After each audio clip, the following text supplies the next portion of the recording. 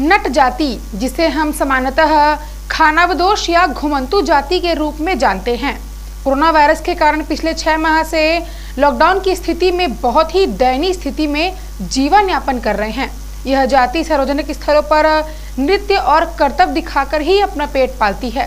किंतु कोरोना काल में सार्वजनिक स्थलों पर प्रतिबंध लगने के बाद इनकी हालत बहुत ही दयनीय और गंभीर हो चुकी है और यह भूखे मर रहे हैं।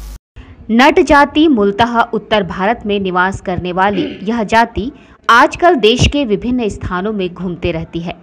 अपने एक स्थान से दूसरे स्थान पर विचरने वाली परंपरा के कारण ही इन्हें खाना बदोश के रूप में पहचाना जाता है।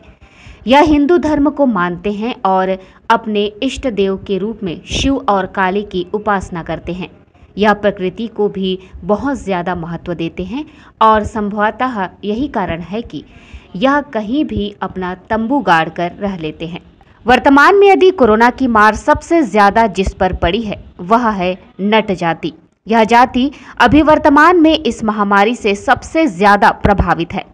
इसका कारण यह है कि एक तो इनका कोई स्थायी निवास नहीं है। दूसरा, स्थायी निवास न होने के कारण इनके अधिकांश लोगों का राशन कार्ड नहीं बना है। यह लोग शिक्षा पर भी विशेष ध्यान नहीं दे पाए हैं, इसलिए अन्य लोगों से कटे कटे भी रहते हैं। वर्तमान में कोरोना वायरस के कारण यह अपना कर्तव्य भी दिखा नहीं पा रहे हैं, जिससे इनके सामने रोजी रोटी की समस्या उत्पन्न हो गई है। ऐसे तो यह जाति छत्तीसगढ़ में विभिन्न स्थानों पर घूमते फिरते हुए और तंबू गड़ाए हुए मिल जाती है। लेकिन आजकल कुछ जगहों पर यह लोग कच्ची मिट्टी के टूटे फूटे घर बनाकर या अपनी साड़ी या पुराने कपड़े या कुछ विशेष चीज़ों से घर बनाकर भी रहने लगे हैं। यही से यह लोग कर्तव्य दिखाने निकल पड़ते थे और शाम रात तक फिर अपने घर वापस आकर रहते थे।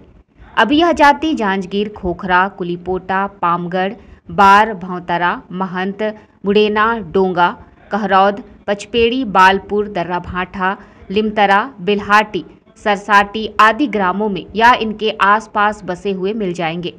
इनकी हालत बहुत ही दयनीय और खराब हो चुकी है। शासन प्रशासन और समाज सेवियों को चाहिए कि कोरोना वायरस के इस दौर में जहाँ हर वर्ग परेशान है, इनकी भी खोज खबर लें और इनकी समस्याओं का समाधान करें।